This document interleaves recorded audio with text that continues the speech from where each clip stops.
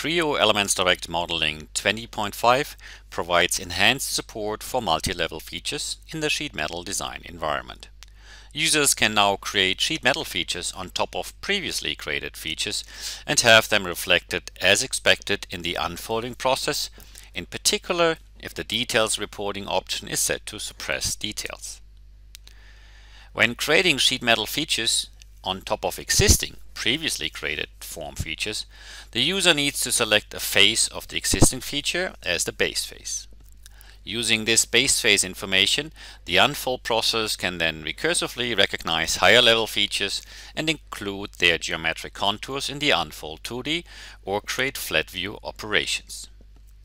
The work plane labeled flat-WP shows how multi-level sheet metal features are evaluated during the unfolding processes. The first unfold 2D operation includes details and shows more contours and edges. The second unfold 2D operation shows the enhanced expected output for the reduced level of detail.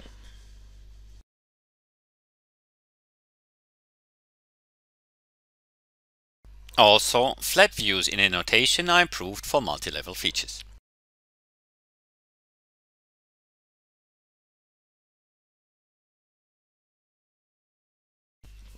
As illustrated in the video, the view shows the expected 2D entities along with the designators of base level and higher level features. To improve post-processing support for customizations reflecting advanced capabilities of modern sheet metal manufacturing machines, the info text attachment to 2D drawing elements in the flat view are enhanced. They include information about the level of the sheet metal feature, and can be filtered to only show information for a single feature in case the 2D element represents coincident projections from several features on different levels. This is controlled by the new macro that was run shortly before we created the flat view. In addition, delete, modify and move feature commands operating on multi-level features are supported in the following way.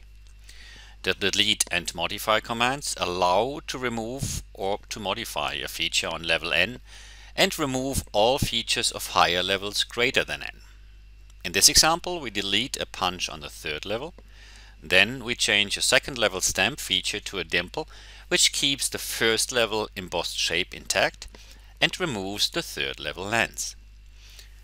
The move command allows to move a feature on level n and includes all features of higher levels greater than n in the move operation. The move needs to be performed within the same base plane.